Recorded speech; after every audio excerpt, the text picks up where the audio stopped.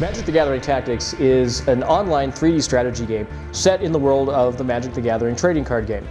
It's a new type of game. It allows you to experience the world of Dominaria uh, in a way that you've never seen before. Once you register your account, you're going to go into avatar creation. You're going to be able to choose the color of magic that best suits you. You're going to be handed a free starter spellbook. This is going to be a 40 spell spellbook containing figures and spells, which are going to be based on the color of magic that you selected. You'll recognize a lot of the familiar characters from magic. You'll see Serra Angels, you'll see the Colossus of Sardia, you'll see uh, elves, you'll see a lot of goblins. Uh, but what you're also going to find is some new things as well, and some new takes on the gameplay that you don't see in the trading card game. In Magic the Gathering Tactics, you build your spellbook from your collection. Now this will seem very familiar to Magic players.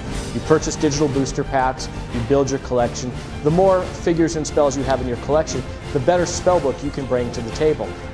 The figures and spells that you collect are what you use to construct your spellbook. That's what you'll play to the table, that's what you'll battle opponents online with.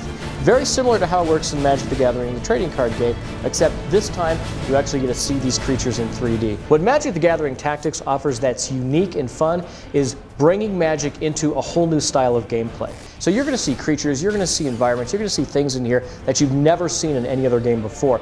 Magic the Gathering Tactics, you get to experience a new dimension of Magic. We look forward to seeing you in game.